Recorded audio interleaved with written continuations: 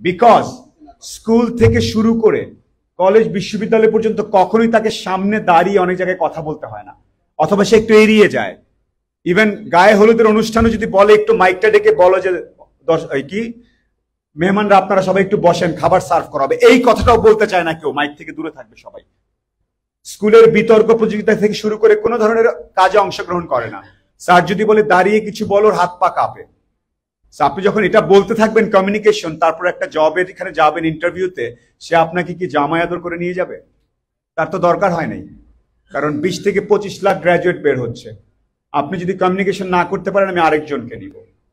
So কমিউনিকেশনে খারাপ। এই শব্দটা বারবার ঘুরে ফিরে আসছে। এই রুমে যারা উপস্থিত, তাদেরকে বলব যে, যত পারেন কথা বলার, লিখার, শ্রবণের, পড়ার নিজেকে উপস্থাপন করার এই যোগ্যতাগুলো